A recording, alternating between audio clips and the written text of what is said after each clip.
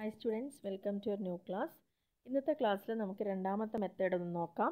Stock and debtor system അതായത് head ഓഫീസിൽ എങ്ങനെയാണ് ഒരു ബ്രാഞ്ച് അക്കൗണ്ട് പ്രിപ്പയർ ചെയ്യുന്നത്. അതിൽ രണ്ട് സിസ്റ്റം ഉണ്ടായിരുന്നു. ടോട്ടൽ നാല് സിസ്റ്റം അതിൽ രണ്ടെണ്ണം debtor system stock and debtor system debtor system നമ്മൾ പ്രിപ്പയർ ചെയ്യുമ്പോൾ നമ്മൾ ബ്രാഞ്ച് അക്കൗണ്ട് മാത്രമാണ് പ്രിപ്പയർ ചെയ്ത് ഒരു പത്ത് ജേണൽ എൻട്രി അവിടെ ഡിസ്കസ് ചെയ്തിട്ടുണ്ടായിരുന്നു സ്റ്റോക്ക് ആൻഡ് ഡെറ്റർ സിസ്റ്റം പറഞ്ഞാൽ അനലറ്റിക്കൽ സിസ്റ്റം എന്ന് പറയാറുണ്ട്. ഇവിടെ നമ്മൾ പ്രത്യേകിച്ച് ഒരുപാട് അക്കൗണ്ടുകൾ ഇവിടെ പ്രിപ്പയർ ചെയ്യാനുണ്ട്. Prepare to ascertain profit or loss of branch ഒരു ബ്രാഞ്ചിന്റെ പ്രോഫിറ്റോ ലോസോ എന്നറിയുന്നതിന് വേണ്ടിയിട്ടാണ് നമ്മൾ ബ്രാഞ്ച് അക്കൗണ്ട് പ്രിപ്പയർ ചെയ്തിട്ടുണ്ടായിരുന്നത് ഡെറ്റേഴ്സ് മെത്തേഡ് പ്രകാരം. എന്നാൽ ഈ മെത്തേഡിൽ ഒരു അക്കൗണ്ടിന് പകരം ഒരുപാട് അക്കൗണ്ടുകൾ അവിടുത്തെ ട്രാൻസാക്ഷനുമായി ബന്ധപ്പെട്ട് നമുക്ക് പ്രിപ്പയർ ചെയ്യാനുണ്ട്. അതിൽ stock and debtors method is generally used when goods are send to the branch at invoice price and the size of the branch is large ഇപ്പോൾ പഠിക്കാൻ പോകുന്ന ഈ സിസ്റ്റം അപ്ലിക്കബിൾ ആവുന്നത് ആർക്ക് മാത്രമാണ് ബ്രാഞ്ച് വളരെ വലുതാവുന്ന ഒരു സിസ്റ്റം അതായത് വലിയ തോതിൽ ട്രാൻസാക്ഷൻ നടക്കുന്ന വലിയൊരു ബ്രാഞ്ച് ആണെങ്കിൽ അതേപോലെ തന്നെ അതിന്റെ അവിടേക്ക് നമ്മൾ ഗുഡ്സ് അയക്കുന്നതെല്ലാം അതിന്റെ ഇൻവോയ്സ് പ്രൈസിലാണെങ്കിൽ ഇൻവോയ്സ് പ്രൈസ് എന്ന് പറഞ്ഞു കഴിഞ്ഞാൽ സാധാരണ ഒരു പ്രൊഡക്റ്റ് ഉണ്ടാക്കി എടുക്കാൻ വരുന്ന വാല്യൂ ആണ് കോസ്റ്റ് എന്ന് പറയുന്നത് കോസ്റ്റ് ഓഫ് ദ പ്രോഡക്റ്റ് എന്ന് പറയുന്നത്. അതിനോടൊപ്പം തന്നെ നമ്മുടെ പ്രോഫിറ്റും കൂടി ആഡ് ചെയ്യുമ്പോഴാണ് എന്തായി മാറുന്നത്? സെല്ലിംഗ് പ്രൈസ് ആയിട്ട് മാറുന്നത്. ഈ സെല്ലിംഗ് പ്രൈസിലാണ് ഹെഡ് ഓഫീസിൽ നിന്ന് ബ്രാഞ്ചിലേക്ക് അയക്കുന്നതെങ്കിൽ ആ പ്രൈസിനെയാണ് എന്ത് പറയുന്നത്? ഇൻവോയ്സ് പ്രൈസ് എന്ന് പറയുന്നത്. അപ്പോൾ ആ സമയത്ത് ബ്രാഞ്ചിന് ഐഡന്റിഫൈ ചെയ്യാൻ പറ്റില്ല ഈ പ്രൊഡക്റ്റിന്റെ ലാഭം എത്രയാണെന്നുള്ളത്. കാരണം ബ്രാഞ്ചിലേക്ക് അയക്കുമ്പോൾ ഫോർ എക്സാമ്പിൾ പറയാം ഒരു പ്രൊഡക്റ്റ് ഉണ്ടാക്കിയെടുക്കാൻ അറുപത് രൂപയാണ് ആയിരിക്കുന്നതെന്ന് വിചാരിക്കുക.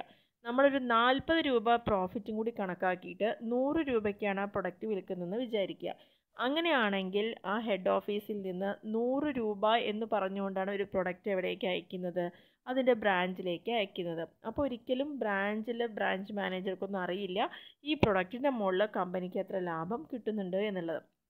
അപ്പോൾ സെല്ലിംഗ് പ്രൈസിലേക്ക് സെല്ലിംഗ് പ്രൈസിലാണ് ഹെഡ് ഓഫീസിൽ നിന്ന് ബ്രാഞ്ചിലേക്ക് അയക്കുമ്പോഴും ബ്രാഞ്ച് വളരെ വലുതാവുമ്പോഴും മാത്രമാണ് ഈ ഒരു സിസ്റ്റം നമ്മൾ ഫോളോ ചെയ്യുക. സ്റ്റോക്ക് ആൻഡ് ഡെറ്റേഴ്സ് സിസ്റ്റം എന്ന് പറയുന്നത്. ഇതിൽ നമുക്ക് ഏഴ് അക്കൗണ്ടുകളാണ് പ്രിപ്പയർ ചെയ്യാനുള്ളത്. പ്രധാനമായിട്ടും വരുന്നത് ഒന്നാമത്തെ ബ്രാഞ്ചിന്റെ സ്റ്റോക്ക് അക്കൗണ്ട്. പിന്നെ അവിടുത്തെ ഡെറ്റേഴ്സിന്റെ account expense account adjustment account goods send to branch account branch cash account branch fixed asset account. അപ്പോൾ ഈ ഏഴ് അക്കൗണ്ട് പ്രിപ്പയർ ചെയ്യണം. അതിന്റെ ജേണൽ എൻട്രീസും ഇതിനെ ബേസ് ചെയ്തിട്ടാണ് പ്രോബ്ലംസ് ഉണ്ടായിരിക്കുക.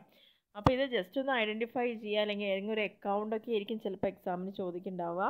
അല്ലാണ്ട് ഇത്രയും ഇത് പ്രിപ്പയർ ചെയ്തുകൊണ്ട് നിങ്ങളോട് ഒരു എസ് എ ക്വസ്റ്റ്യനുള്ള ചാൻസ് കുറവാണ്. എന്നാൽ അതിനേക്കാൾ കൂടുതൽ സാധ്യത ഡെറ്റേഴ്സ് സിസ്റ്റം എന്താണെന്നുള്ളത് നോട്ട് ചെയ്ത് വെക്കുക. അതൊരു എസ് എക്കൊക്കെ ചാൻസ് ഉള്ള ക്വസ്റ്റ്യൻ ആണ്.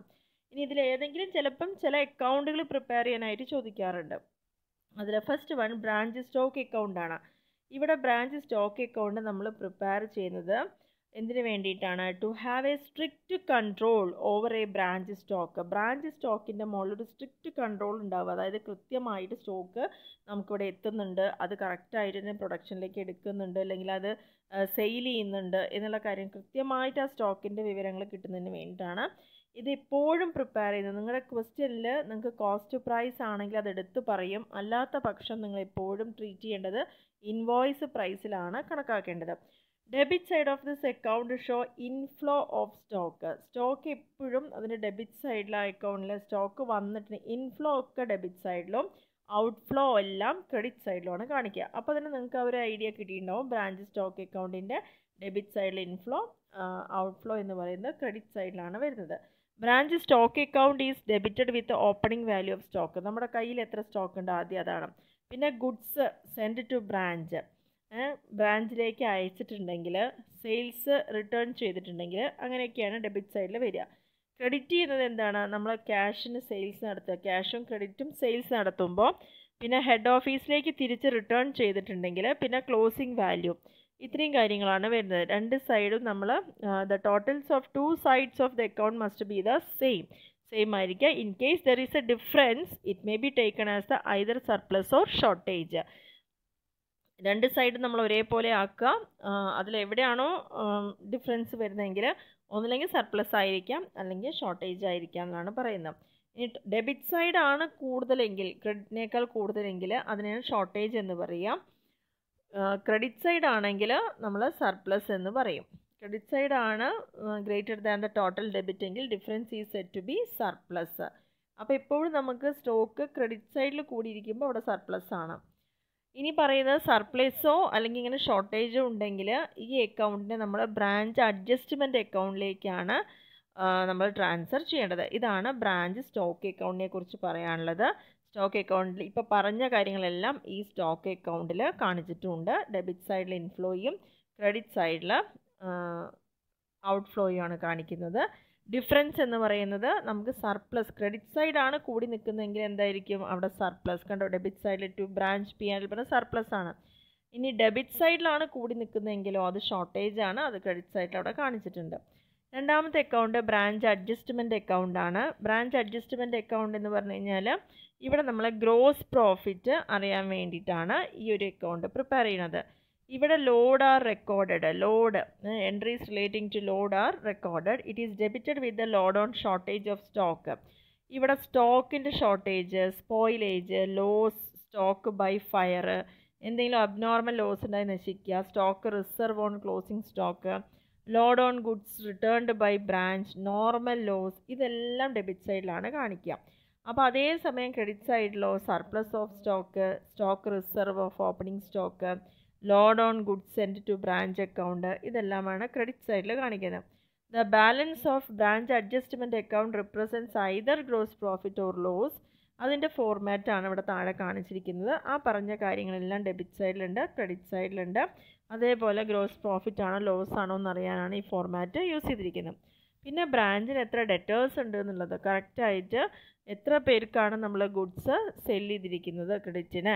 ഈ അക്കൗണ്ട് പ്രിപ്പയർ ചെയ്യുന്നത് single entry either the closing balance of debtors or on the credit sales credit സെയിൽസിന്റെ ബേസിലോ അല്ലെങ്കിൽ ക്ലോസിംഗ് ഡെറ്റേഴ്സിന്റെ ബേസിലോ ആണ് ചെയ്യാം ചിലപ്പോൾ ഫിഗേഴ്സ് മിസ്സാവാൻ ചാൻസ് ഉണ്ട്. Opening debtor or cash received from debtors can be ascertained by preparing this account തന്നിരിക്കുന്ന ക്വസ്റ്റ്യനിൽ ചിലപ്പോൾ ഇത് ഡയറക്റ്റ് ആയിട്ട് ഉണ്ടാവില്ല. ആ സമയത്ത് നമ്മൾ ഈ അക്കൗണ്ട് പ്രിപ്പയർ ചെയ്തിട്ട് വേണം ചെയ്യാൻ. Opening balance of ഡെറ്റേഴ്സിനാവും credit sales etcetera are shown on the debit side debit സൈഡിൽ കാണിക്കുക. ക്യാഷ് കിട്ടിയത് ഡിസ്കൗണ്ട് നമ്മൾ കൊടുത്തത് അലവ് ചെയ്തിരിക്കുന്നത് sales return bad debt bills റിസീവബിളൊക്കെ അതിന്റെ ക്രെഡിറ്റ് സൈഡിലും കാണിക്കുക. അതിന്റെ ഫോർമാറ്റാണ് ബ്രാഞ്ച് ഡെറ്റേഴ്സ് അക്കൗണ്ടിന്റെ ഫോർമാറ്റാണ് ഓപ്പണിങ്ങും ക്ലോസിങ്ങും സ്റ്റോക്ക് ഉള്ളത് ക്രെഡിറ്റ് സെയിൽസ് എത്ര നടത്തി എന്നുള്ളത് ഡെബിറ്റ് സൈഡിൽ ബാക്കി കിട്ടിയതെല്ലാം എന്റെ ക്രെഡിറ്റ് സൈഡിൽ കാണിക്കാം. ബ്രാഞ്ച് എക്സ്പെൻസ് അക്കൗണ്ടാണ് അടുത്തത്.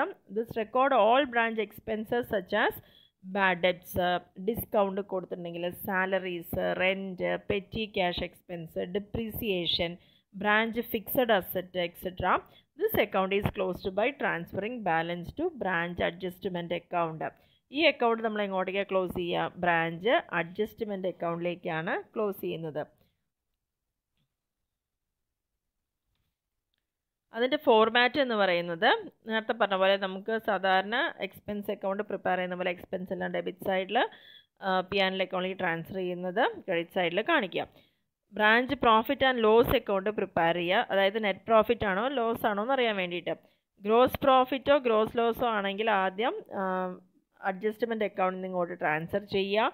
Branch P and account debit ചെയ്യേണ്ടത് എന്താ? Branch എക്സ്പെൻസുകൾ petty expense branch depreciation fixed asset bad debt discount allowed debtors cost of shortage in stock cost of എല്ലാ ചെലവുകളും നഷ്ടങ്ങളും എല്ലാം ഡെബിറ്റ് സൈഡിൽ ചെയ്യുക. ബ്രാഞ്ച് നമ്മൾ സാധാരണ പി അക്കൗണ്ട് ചെയ്യുന്ന പോലെ എല്ലാ എക്സ്പെൻസുകളും ലോസസ് എല്ലാം ഡെബിറ്റ് സൈഡിൽ വരുമാനങ്ങളെല്ലാം എവിടെ എഴുതുക? ക്രെഡിറ്റ് സൈഡിൽ എഴുതാം ഇനി branch cost of surplus of stock നമുക്ക് രണ്ട് സൈഡും കൂടി നോക്കുമ്പോൾ ചിലപ്പോൾ പ്രോഫിറ്റ് ആവാം. അല്ലെങ്കിൽ ലോസ് ആയിരിക്കാം ഉണ്ടായിരിക്കുക ക്രെഡിറ്റ് സൈഡ് കൂടി നിൽക്കുമ്പോൾ പ്രോഫിറ്റും ഡെബിറ്റ് സൈഡ് കൂടി നിൽക്കുമ്പോൾ ലോസും ആയിരിക്കും ഉണ്ടായിരിക്കുക ഇതിനെ പി ആൻഡ് അക്കൗണ്ടിലേക്ക് ട്രാൻസ്ഫർ ചെയ്തിട്ടാണ് ഈ അക്കൗണ്ട് ക്ലോസ് ചെയ്യുന്നത്. പിന്നെ വരുന്നത് goods send to branch account ആണ്. This account is credited with value of goods send on goods returned and debited with goods return to head office and load on goods send to branch ഗുഡ്സിന്റെ load ബ്രാഞ്ചിലേക്ക് അയച്ചിട്ടുണ്ടെങ്കിൽ അതേപോലെ return ചെയ്തിട്ടുണ്ടെങ്കിൽ ഇതെല്ലാമാണ് goods send കാരണം goods send ചെയ്യുക എവിടേക്കാണ് ഒന്ന് ബ്രാഞ്ചിലേക്കും പിന്നെ ബ്രാഞ്ചിൽ നിന്ന് അധികമുള്ളത് റിട്ടേൺ ആയിട്ട് ഹെഡ് ഓഫീസ് ഇങ്ങനെ ഒരു ട്രാൻസാക്ഷനാണ് അവിടെ വരുന്നത്. It is closed by transferring the balance ഇനി ഇതിൽ ഈ അക്കൗണ്ട് പ്രിപ്പയർ ചെയ്യുമ്പോൾ കിട്ടുന്ന ബാലൻസിനെ നമ്മൾ ട്രേഡിംഗ് അക്കൗണ്ടിലേക്കാണ് കാരണം ട്രേഡിംഗ് അക്കൗണ്ടിലാണ് നമ്മൾ എന്ത് കാണിക്കാറുള്ളത്? സ്റ്റോക്കിന്റെ വാല്യൂ കാണിക്കുന്നത്. Goods send to branch account cannot have any opening or closing balance. ഈ ഒരു അക്കൗണ്ടിന് മാത്രം ഏതുണ്ടാവില്ല? ഓപ്പണിംഗ് സ്റ്റോക്കോ അല്ലെങ്കിൽ ക്ലോസിംഗ് ബാലൻസോ ഉണ്ടായിരിക്കില്ല. പകരം ഇത് ട്രാൻസ്ഫർ ചെയ്തിട്ടുണ്ടെങ്കിൽ ഏറ്റവും അവസാന അക്കൗണ്ട് ക്ലോസ് ചെയ്യാൻ ട്രാൻസ്ഫർ ചെയ്യുന്നത് ട്രേഡിംഗ് അക്കൗണ്ടിലേക്കായിരിക്കും. ഇനി branch cash account. Cash account മെയിനായിട്ട് നമുക്ക് ഡെറ്റേഴ്സിന്റെ നിന്ന് എത്ര രൂപ കിട്ടാനുണ്ട് എന്നുള്ള കാര്യങ്ങൾ അറിയാൻ വേണ്ടി ബ്രാഞ്ചിന്റെ എക്സ്പെൻസ് മീറ്റ് ചെയ്യാൻ സാധിക്കുന്നുണ്ടോ? ഹെഡ് ഓഫീസിലേക്ക് അടയ്ക്കേണ്ടത് എത്ര? എന്നുള്ള കാര്യങ്ങളൊക്കെ അറിയാനാണ് നമ്മളിവിടെ പ്രിപ്പയർ ചെയ്യുന്നത്. This means that if the cash receipts are immediately remitted to head office and the cash is send to branch for meeting expenses അപ്പോൾ ക്യാഷ് ഹെഡ് ഓഫീസിലേക്ക് റെമിറ്റ് ചെയ്യുക. നമ്മുടെ ബ്രാഞ്ച് എക്സ്പെൻസ് മീറ്റ് ചെയ്യാൻ വേണ്ടി ക്യാഷ് ഹെഡ് ഓഫീസിൽ നിന്ന് ബ്രാഞ്ചിലേക്ക് അയച്ചു തരിക. ബ്രാഞ്ചിന്റെ കയ്യിൽ എത്ര ക്യാഷ് അക്കൗണ്ട് നീഡ് നോട്ട് അപ്പോൾ branch cash account need not be opened ഇവിടെ എന്ത് ചെയ്യണം? ബാലൻസ് ഉണ്ടെങ്കിൽ അത് എഴുതുക. പിന്നെ നമ്മൾ റെമിറ്റൻസ് ഫ്രം ഹെഡ് ഓഫീസ് ഇങ്ങോട്ട് കിട്ടിയത് ഡെറ്റേഴ്സിൽ നിന്ന് കിട്ടിയതെല്ലാം ഡെബിറ്റ് സൈഡിൽ ചിലവുകളെല്ലാം റൈറ്റ് സൈഡിൽ കാണിക്കുക. ബ്രാഞ്ച് എക്സ്പെൻസ് ഫിക്സഡ് അസറ്റ് എന്നിവ വാങ്ങിയിട്ടുണ്ടെങ്കിൽ ബാങ്ക് അക്കൗണ്ട് റെമിറ്റ് ഹെഡ് ഓഫീസിലേക്ക് അയച്ചിട്ടുണ്ടെങ്കിൽ അപ്പോൾ വന്നതെല്ലാം ഡെബിറ്റിൽ പോയതെല്ലാം ക്രെഡിറ്റിൽ കൊടുക്കുക.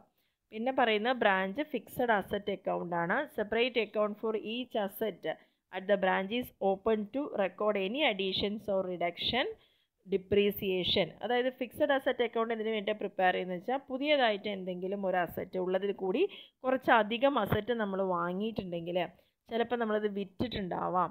അതല്ലെങ്കിൽ അതിന് ഡിപ്രീസിയേഷൻ സംഭവിച്ചിട്ടുണ്ടാവാം. അപ്പോൾ അങ്ങനെയെല്ലാം ഉണ്ടെങ്കിൽ ക്ലോസിംഗ് ടൈമിൽ എത്ര നമുക്ക് അസറ്റ് ഉണ്ട് അറിയാനാണ് ബ്രാഞ്ച് ഫിക്സഡ് അസറ്റ് പ്രിപ്പയർ ചെയ്യുന്നത്. ഈ അക്കൗണ്ടിലും ഡെബിറ്റ് ചെയ്യുന്ന എന്താണ്? ഓപ്പണിംഗ് വാല്യൂ അസറ്റിന്റെ ഓപ്പണിംഗ് വാല്യൂ ഡെബിറ്റ് ചെയ്യുക. പുതിയതായി പർച്ചേസ് ചെയ്തിട്ടുണ്ടെങ്കിൽ ഡെബിറ്റ് ചെയ്യുക. അങ്ങനെ എന്തെങ്കിലും ഡെബിറ്റിൽ ഇനി ക്രെഡിറ്റ് ചെയ്യുന്നതോ ഡിപ്രീസിയേഷൻ വല്ലതും കൊടുക്കുന്നുണ്ടെങ്കിൽ ക്രെഡിറ്റ് ചെയ്യാം ഇനി ഇതിന്റെ ബാലൻസ് എന്താണോ കാണിക്കുന്നത്? ക്ലോസിംഗ് വാല്യൂ ഓഫ് അസറ്റ് അതെല്ലാം കഴിഞ്ഞതിന് ശേഷം ബാക്കി വരുന്ന അസറ്റിന്റെ ക്ലോസിംഗ് വാല്യൂ ആണ്. ഈ ഒരു അക്കൗണ്ടിൽ കാണിക്കുന്നത്. അപ്പോൾ ഇത്രയാണ് ഏഴ് അക്കൗണ്ടിനെ കുറിച്ച് പറയാനുള്ളത്. അത് എളുപ്പത്തിൽ തന്നെ നമുക്ക് പഠിക്കാം. ഒരു ബ്രാഞ്ച് ആവുമ്പോൾ അവിടെ എന്തുണ്ടാവും? സ്റ്റോക്ക് ഉണ്ടാവും. സ്റ്റോക്ക് അതേപോലെ ആ സ്റ്റോക്കുമായിട്ട് ബന്ധപ്പെട്ട് വരുന്ന ആൾക്കാരാരാ ആണ്. അതുമായിട്ട് ബ്രാഞ്ച് നടത്തിക്കൊണ്ടുപോകാൻ ചിലവുകൾ ഉണ്ടാവാം.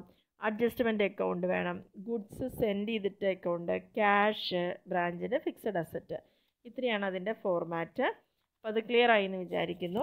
ഓക്കെ അപ്പോൾ അതെല്ലാം കാര്യങ്ങളും മനസ്സിലാക്കി തന്നെ പഠിക്കുക. അങ്ങനെയാണെങ്കിൽ നമുക്ക് വല്ലാതെ ബൈ ഹാർട്ട് പഠിക്കേണ്ട ഒരു ആവശ്യം ഇവിടെ വരുന്നില്ല. അപ്പോൾ ക്ലിയർ ആയി എന്ന് വിചാരിക്കുന്നു. Okay thank